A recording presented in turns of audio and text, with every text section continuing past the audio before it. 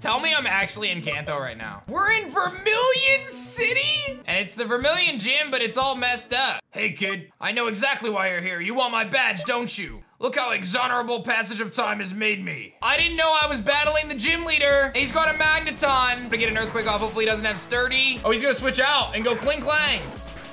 Okay, I got rid of Klinklang. Magnezone. Oh, he had an air balloon. We're gonna earthquake. All right, this should knock out the Magnezone. Oh, I can jet strike. That's gone. Here comes a Raichu. What is that Raichu? He goes for Volt Switch, okay. He's gonna go into Blingrin, and he's gonna Iron Head. Oh, okay, that's real. I'm faster. Okay, all about getting up a Trick Room right now. Um, I am gonna Shadow Ball and hit him really hard. Not even close. And he's gonna Meteor Punch me, and Terror lives on a sliver. Shadow Ball for the win. I just big brain that gym. Let's go. And we got our eighth badge. Didn't expect it. The honor badge